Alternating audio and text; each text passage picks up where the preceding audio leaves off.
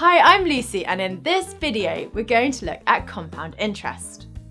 If you have a savings account and you deposit some money, the bank will pay you some extra money as a way of saying thank you for saving with them. You're effectively loaning them some money. This is known as interest.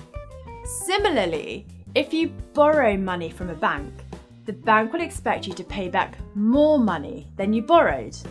This is also known as interest. The amount you are paid or the extra amount you have to pay back depends on the interest rate set by the bank. This is one way that banks make money. The interest rate they charge on loans is higher than the interest they pay for the money you save. There are different types of interest. Banks use these top two types of interest when paying out interest or demanding it on loans. It's important to know the difference as it can affect how much money you earn or have to repay. Before we start, you need to know all about percentage increase and decrease multipliers.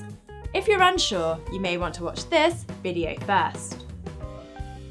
With compound interest, the interest is calculated at the end of the time period, so usually a year, and then it is added to the new balance.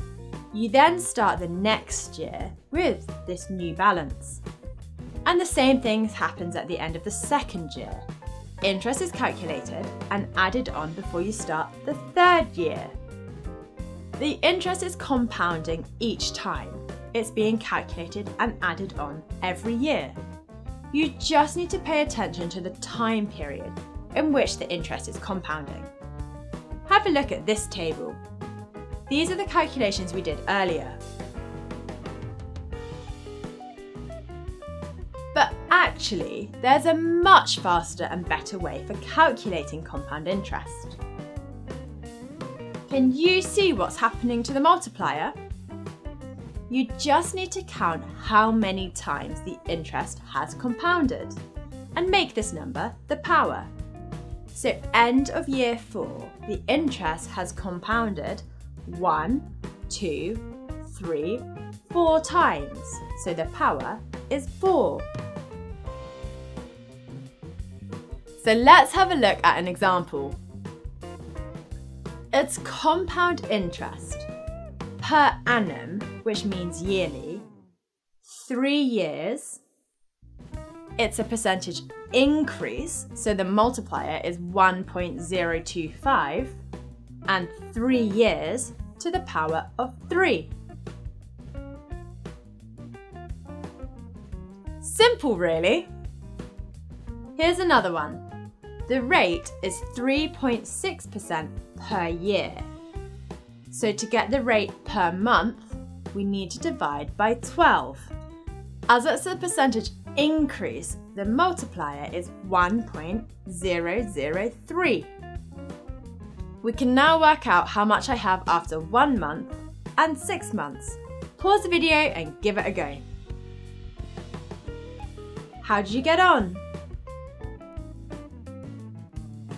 Give these questions a go.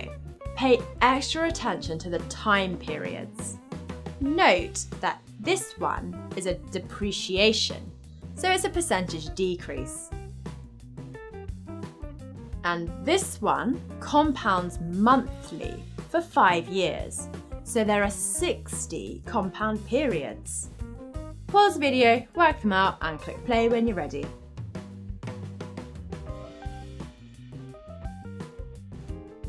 So there we have compound interest. Work out how many compounding periods there are and raise the multiplier to this power. If you liked the video, give it a thumbs up and don't forget to subscribe. Comment below if you have any questions. Why not check out our FuseSchool app as well? Until next time.